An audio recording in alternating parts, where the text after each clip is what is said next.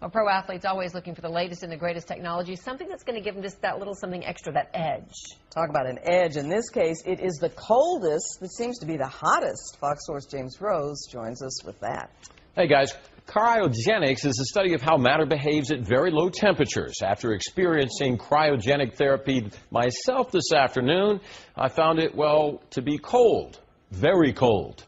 48 degree night, and CJ Wilson is a guy who goes through cryogenic therapy, where he is in a cryogenic tank. And the other day went down to minus 295 degrees. Cryotherapy is similar to an ice bath, but it's a much faster way to get the same effect as sitting in icy water for 25 minutes. I figured I'd give it a shot. I'm kind of an experimental guy. Wilson and a few other Rangers came to this facility in Dallas and spent two and a half minutes in this tank, with the temperature nearly 300 degrees below freezing. Uh, it helps you recover. Um, basically, you stand in this, you know, this freezing can, and cold air circulates around you. Wilson and others see it as an edge. I'll do whatever because the one percent at this level is really the it really is valuable. You know, the first treatment didn't really feel much. They felt better coming out, but after a series of treatments, uh, it started to affect performance, and they definitely saw an improvement in their performance and how they felt.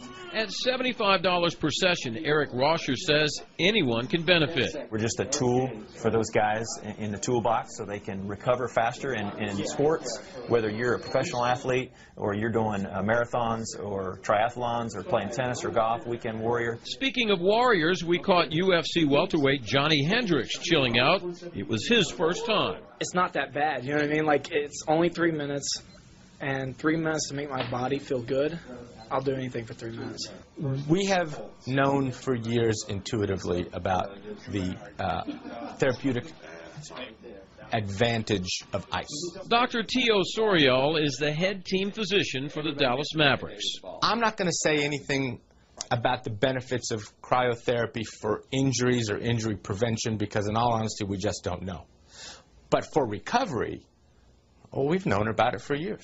Souryal says more research is needed, but some of his players don't need any convincing. I've heard from some of our older athletes uh, that we may not have won a championship like this if we didn't have this sort of thing available to us. With time, we're going to have enough studies.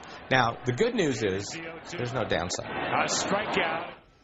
Now, C.J. Wilson is not the only Texas Ranger to use this therapy. Cryo USA says Rangers pitcher Matt Harrison and right fielder Nelly Cruz are also using cryotherapy. James Rose, Fox 4 News.